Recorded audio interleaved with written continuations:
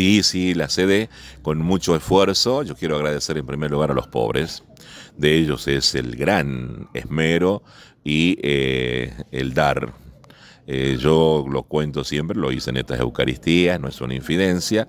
He recibido un sobre de una persona muy pobre, pero muy, muy pobre, eh, que me recordaba a aquella viuda en el templo que dio desde su pobreza y así la suma de un montón de voluntades pequeñitas hace posible que hagamos esto. Hoy como hemos comenzado, eh, ya está un poquito distinta porque está toda hinchastrada, pero no obstante el grupo de hermanos ya está limpiando para que tengamos la misa allí. Eh, una alegría porque año tras año vamos viendo la generosidad y me acuerdo que hace dos años y medio cuando llegué vi un templo que necesitaba una pintura exterior, lo pudimos hacer, inaugurar para la fiesta de la Virgen.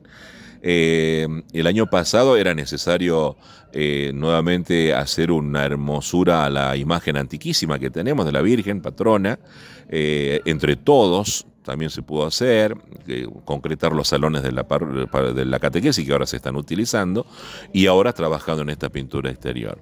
Eh, año tras año siempre queremos un poquito hermosearla y dejarla linda. Tiene que estar hermosa la casa de la Virgen y para recibir a los peregrinos que la aman mucho.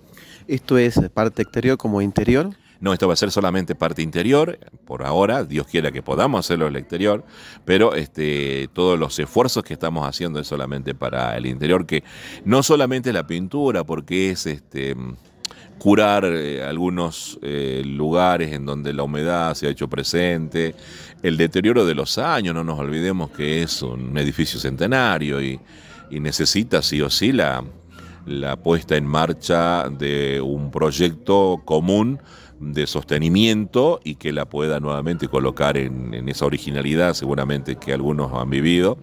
Bueno, porque nosotros de a poquito vamos, vamos colocándole el alma, ¿no? Hay un equipo muy lindo que me ayuda y con ellos vamos para adelante.